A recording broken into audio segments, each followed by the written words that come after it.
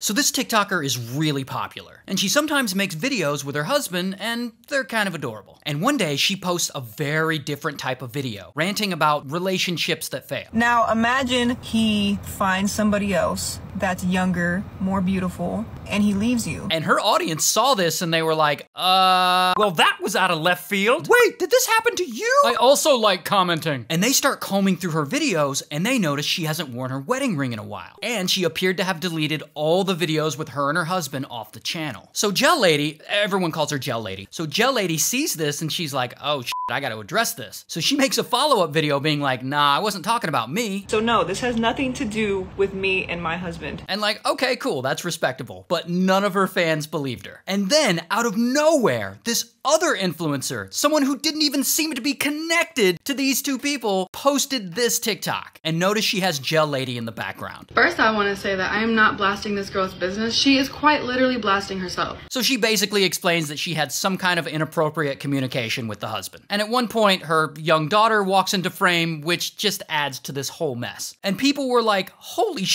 does that mean he cheated? And of course fans were reacting. Why would you confess all this on TikTok? You're a homewrecker! So the side chick sees the backlash and makes a second video defending herself. My name is Shayla and I'm in the adult entertainment industry. And it is quite literally my job to answer random unknown men. And I guess, just to be petty, she changed her bio to Internet Homewrecker. Oh boy. And now it was all out there. It was like a bomb dropped. And of course, Gel Lady had to respond. Because how could you not? So now she tells the real story. But the one thing she didn't do in this response was bash her husband. One thing I just cannot tolerate is people speaking bad about my family. And my husband is my family. Whether we work this out or not, he is my family. And yeah, you gotta respect that. Now, the husband, he's watching all this, and for some reason, he feels like he needs to make a response video, basically saying he felt used. I was gonna be quiet about the whole situation, but I'm not about to let a person who used me for their success, the whole marriage, run my name through the mud. Now, he didn't really address the whole like alleged cheating thing, but he did change his bio to Slave for Combat Gel. Combat Gel is a product that Gel Lady sells. That's probably why they call her Gel Lady. I look, I don't normally comment on people's marriages because like that's between them. But like, damn, they just like put all this information out there for everyone to gawk at. We want privacy. But I will say this, there are no winners in this scenario. Like I'm sure all three of them feel like they got screwed over. And yeah, this ended exactly the way you would have predicted. One thing that I will confirm is yes, my marriage